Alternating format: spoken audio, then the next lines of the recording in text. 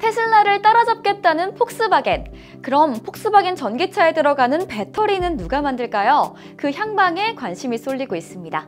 폭스바겐이 15일 Power Day 행사에서 각형 배터리를 중장기적 핵심 부품으로 삼겠다고 밝힌 건데요.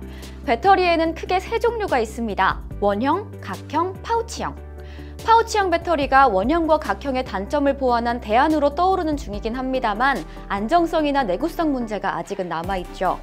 그래서 아직은 각형이 가장 많이 쓰이는데요. 세계 최대 배터리 제조사 중국 CATL과 자체 투자 중인 노스볼트가 주력으로 삼고 있는 것이 바로 이 각형 배터리입니다. LG 에너지 솔루션은 원형과 파우치형, SK 이노베이션은 파우치형 배터리만 만드는데요.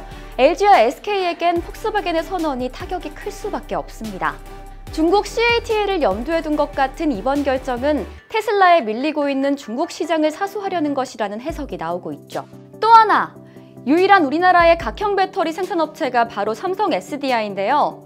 전기차 업계의 특성상 단일 공급자 체제로 가지 않는 것을 감안하면 폭스바겐이 CATL과 함께 삼성 SDI 배터리를 중용할 수도 있다는 가능성도 배제할 수 없습니다.